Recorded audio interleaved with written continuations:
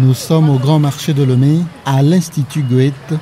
Dans cette soirée du jeudi 24 juin 2021, Monseigneur Nicodème Barriga Bénissant y est convié pour un café littéraire en vue de la présentation de son œuvre intitulée Le trône royal, une œuvre sacrée Grand Prix de la littérature togolaise 2020, catégorie pièce de théâtre, organisée par le ministère de la Culture et du Tourisme en collaboration avec l'Institut Goethe dans le cadre de l'initiative dénommée Le Mois du Livre.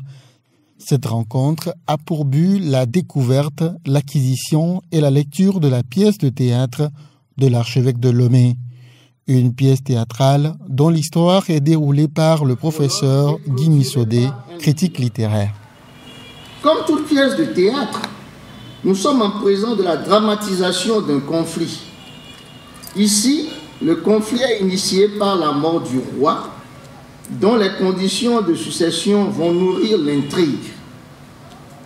Afin que le roi, selon la tradition, continue d'être servi comme tel dans l'au-delà, son enterrement, qui conditionne le couronnement de son successeur, doit être précédé du sacrifice de trois enfants immolés par l'héritier présomptif.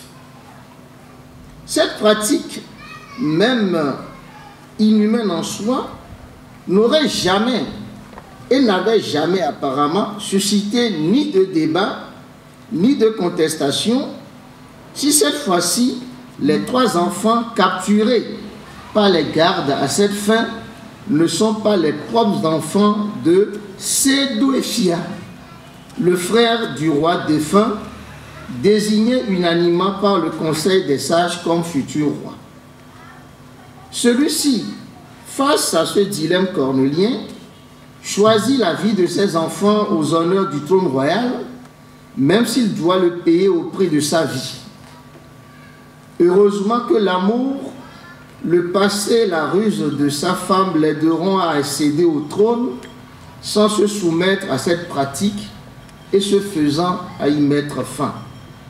Dans son analyse, le critique littéraire propose trois noms pédagogiques, entre autres appropriation réussie des influences, résolution des contradictions, inversion de l'échelle des valeurs, dont voici quelques points. Heureusement qu'à la fin de la lecture du trône royal, certainement écrit pour être joué plutôt que pour être lu, n'est-ce d'ailleurs pas la finalité d'une pièce de théâtre? J'ai été forcé de reconnaître que les attributs épiscopaux de l'auteur cachent très mal les talents avérés d'un dramaturge moulé, façonné par les traditions théâtrales d'horizons différents sur lesquels nous reviendrons. Donc, D'avance, je vous félicite. Sans nous, enfermer dans la théorie de Sainte-Beuve, tel arbre, tel fruit, il est aisé de prouver que le dramaturge est à la croisée de deux cultures littéraires au moins. L'une gréco-latine et classique, l'autre que rapidement je peux appeler négro-africaine. La structure de la pièce et le choix des personnages nous autorisent cette assertion. S'agissant des personnages, ils jouent pleinement leur fonction.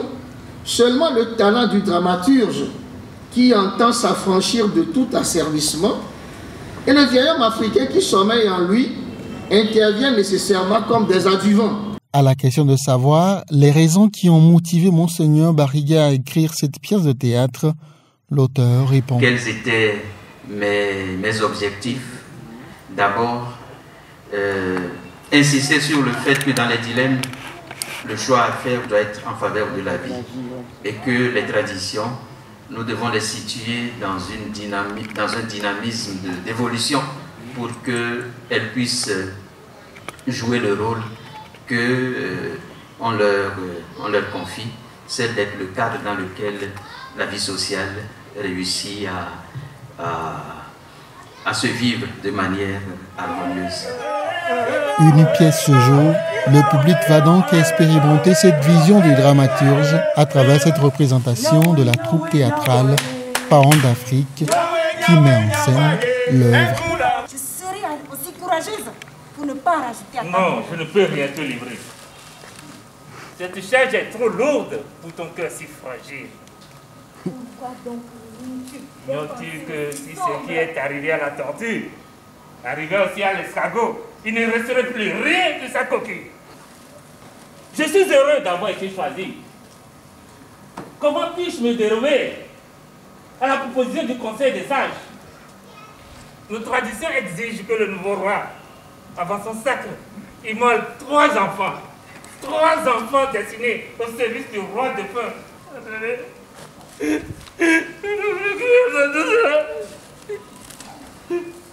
Enfants sont les. Nos enfants Oui, enfants. Le trône royal, d'une soixantaine de pages, relève une place de choix à la femme, un choix que l'auteur explique. C'est à l'image un peu euh, de, de notre Afrique, où la femme, euh, elle est partout présente, mais euh, dans les instances de décision, elle est toujours ignorée. Je l'ai fait exprès pour que le rôle le plus important de cette pièce soit joué par une femme. En réalité, on sent que c'est Sédouéfia, évidemment, le roi, euh, le nouveau roi. Mais derrière ce nouveau roi, il y a eu quand même sa femme. C'est elle qui a été décisive dans la pièce. L'unique femme a eu le rôle le plus beau dans toute cette pièce. Et le meilleur pour la fin, nous revenons au professeur Guy Missodé, qui au terme de sa présentation a réservé une question à Monseigneur Barriga. L'une des questions, on ne peut pas dire la question qui m'obsède et par laquelle je voudrais bien conclure mes propos est la suivante. Finalement, êtes-vous féministe? Et la réponse de l'archevêque de Lemay, parole du moins, surprenant. Je le suis très profondément. Et je le suis très profondément. Oui, cela peut paraître assez curieux qu'un religieux, un évêque puisse déclarer qu'il est féministe. Mon féminisme, je le dis sans,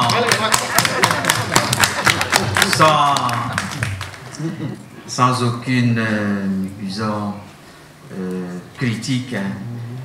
C'est égalité de droit, égalité de dignité, égalité de traitement. Mais je ne dis pas réduction de la femme à ce qu'est l'homme. C'est une nouvelle facette de l'archevêque de Lomé que l'on découvre à travers cette pièce, celui d'un archevêque qui milite en faveur des droits de la femme.